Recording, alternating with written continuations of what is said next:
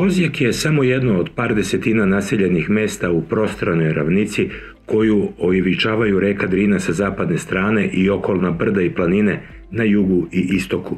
I ovdje je primjetan pad broja stanovnika, ali ne u većem procentu, pošto je ceo ovaj kraj pokriven solidnom mrežom puteva i dobrom komunikacijom sa Loznicom kao centralnim mestom.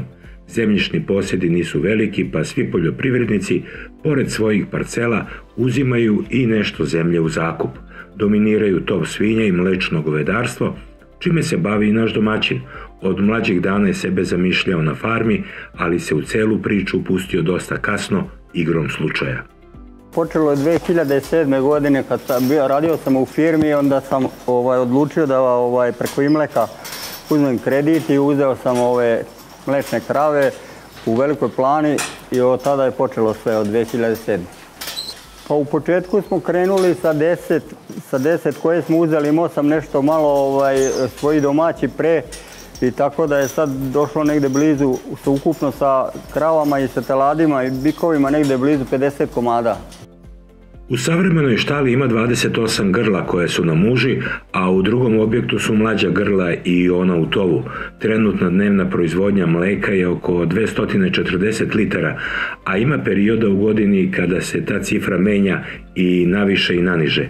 Bilo je perioda kada je litar otkupne cene mleka bio manji od litra kisele vode, a sada se to negdje izjednačilo, pa i to je nešto kada se dodaju državne premije i svi drugi državni posticaji.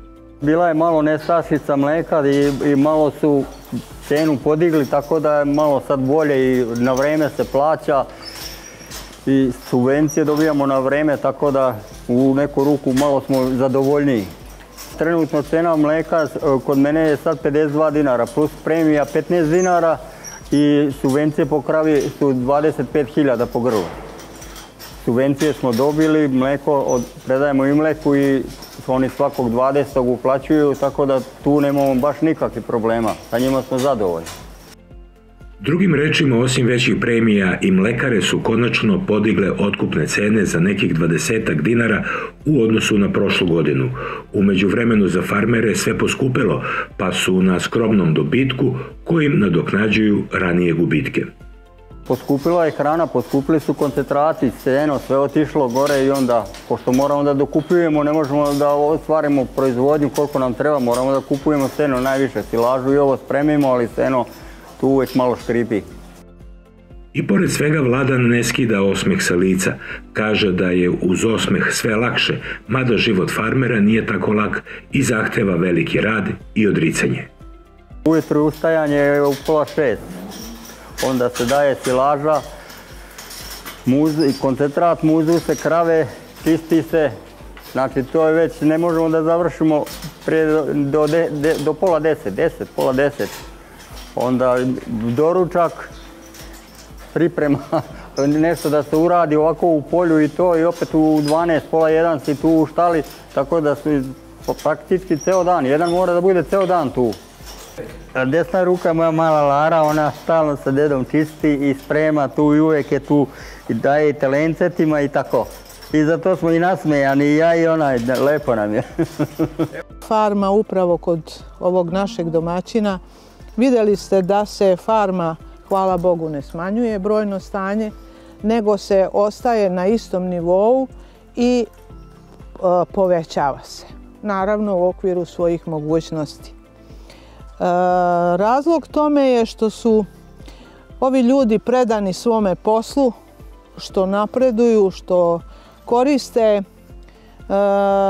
nove tehnologije, što su mehanizovali i zaokružili u tom smislu svoju proizvodnju i na taj način su rešili pitanje problema radne snage. Znači priprema hrane je blago menja svoj pravac, dosta je mehanizovana, naravno tome su doprinela, ja moram uvijek da pohvalim e, Ministarstvo poljoprivrede koje daje posticaje za nabavku tih mašina i opreme i naši proizvođači, veći i ozbiljniji, su korisnici tih e, posticaja. I naš domaćin, kao i ostali stočari u ovom kraju, se dovija, pa osim svoje zemlje uzima nešto i u zakup kako bi obezbedio što više sobstvene hrane za farmu. Svoje zemlje imam 10 hektara obradive, ostalo je sve u zakup možda više, još možda 15 hektara. Tako da od tim, od lokalne samouprave nešto smo pokušavali da dobijemo, ali nismo uspjeli, to je prečeg zakupa, tako da smo ostali na ovome što imamo. I zato i fali nam uvijek i za seno i seno dokupljujemo. To ne možemo da obezbedimo dovoljno koliko nam treba. Pa u ovom kraju je prilično u dobro u odnosu na druge. Nekako se ti uslovi su ovdje nekako drugačiji i bude, prilično, ne bude tako kao u Vojvodina da izgori i to, tako da uvijek ima, ovaj hrane, ima da da se kupi, da se nabavi, nije problem. Inače, u suštini godina je loša. Osim više cene mleka u posljednje vreme, pristojna se cena dobija i u tovu junadi. Kada krava oteli muško, ono sigurno odlazi u tov, a ženska grla se spremaju za proizvodnju mleka. Zato je vladan u ovom slučaju pristrasan i navija. Pa malo više za, žensko, zato što, što planiramo da ostavimo, ako bude dobro tele, da ostavimo, da ima krave koje, su starije pa treba da se promene i tako u suštini bolje žensko. A i mala Lara voli više telence žensko, je tako Lara?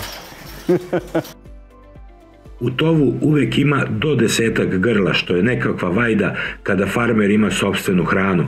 Može se reći da se tov sada isplati i zbog toga su i muška telad nešto skuplja. Cena bikova se približila cifri od 3 evra, a pamtimo kada je bila i ispod 2. Bili su 2,9, 3, 2,8 tako, pa su bili nešto malo pali, sad su opet izašli na, na tu cenu. I to nije loša cena u odnosu na, na svinje gdje su praštići katastrofa. Sadašnji povoljni vetrovi u mlečnom govedarstvu, računajući i pomenuti tov, možda će i naslednika našeg domaćina približiti više farmi. Valjalo bi da ima neko ko će naslediti ovaj posao. Sa sadašnjim odnosom radne snage i obradivog zemljišta, farma se neće bitno širiti, ali će vladan gledati da održi ovaj obim proizvodnje. Snagu za svemu uliva unuka, koja mu najčešće pravi društvo u svim poslovima oko životinja.